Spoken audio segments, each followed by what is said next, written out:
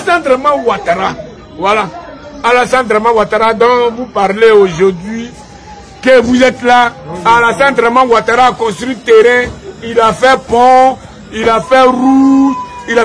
Mais donnez-moi le nom d'une entreprise que Alassane Draman Ouattara a construit où les citoyens ivoiriens vont travailler. Il a fait pont pour que non, on n'a qu'à faire accident là-dessus à une voiture. Mais regardez le stade d'Indipé. Match amical à le Mali. Mais il a pété plus seulement là. Tout le là pour des milliards. C'est ça on a fait travailler. Attends, tu as, as, fait route là-haut, tu as fait voiture pour donner à tous les citoyens ivoiriens, et puis tu as fait route goudron pour que nous on qu'à passer. Qui va passer là-dessus? Alassane Draman Ouattara est un citoyen ivoirien qui a la nationalité ivoirienne aujourd'hui parce que depuis 2010, nous-mêmes on le guette. Nous on est là, c'est pas, pas, par respect de Oufoué. C'est par respect de Oufoué.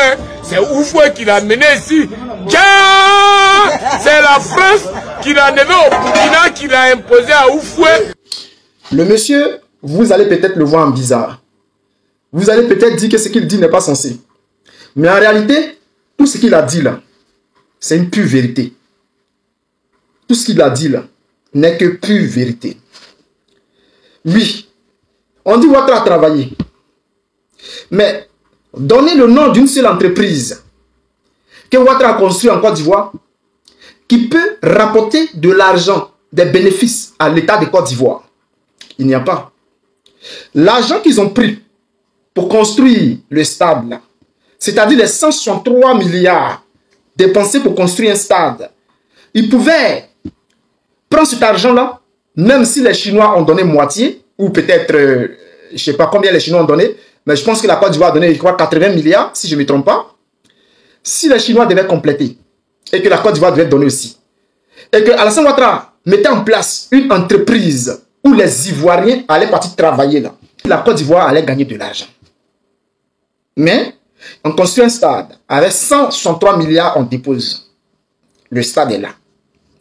Voici maintenant que le travail qui a été effectué, on trouve que l'argent qui a été utilisé, ce n'est pas cet argent-là, l'argent qu'on dit avoir utilisé. On constate que ce n'est pas exactement cette somme-là qui a été utilisée pour travailler sur le stade. Mais peut-être même, ils ont parlé de 20 milliards pour la pelouse, peut-être c'est 1 milliard qui est sorti.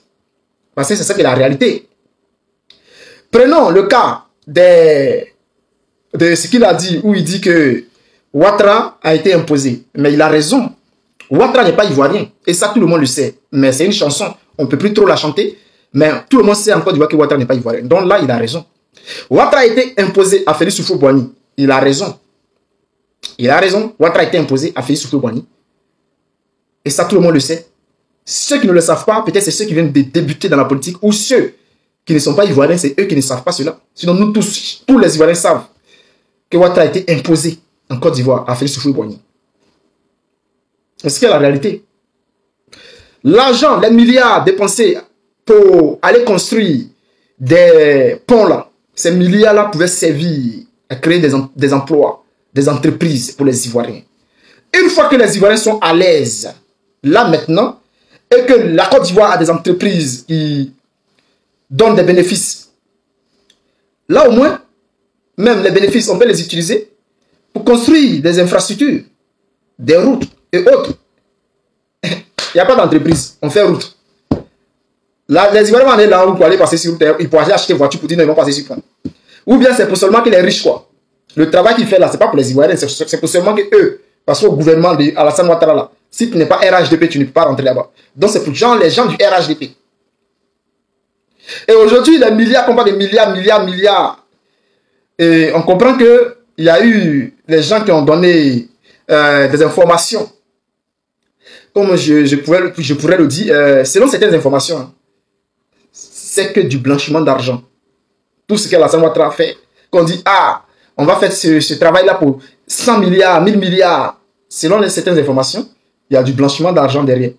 Oui, telle entreprise donne tant pour construire un stade, pour faire ceci.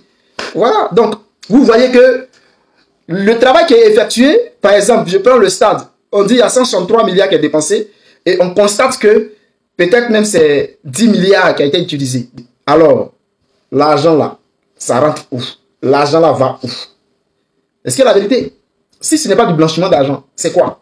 Puisque on nous parle de travail, quand on voit les goudrons qui sont faits, les routes qui sont faites et tout là, on va, on va voir les routes là, on, constate que route, goudron, que Félix Soufoué a mis à son temps là, jusqu'à présent là, ces goudrons là sont là, hein. mais goudrons qui a la votre main là, un mois, deux mois après là, c'est ça qui sort après. L'argent là, ça rentre où C'est la question qu'on se pose. Donc, famille, le monsieur a raison. Ça ne sert à rien de venir l'insulter ou bien de venir dire qu'il est comme ci, comme ça. Non. Ce qu'il dit là, c'est ce qui sort de sa bouche là qu'il faut écouter.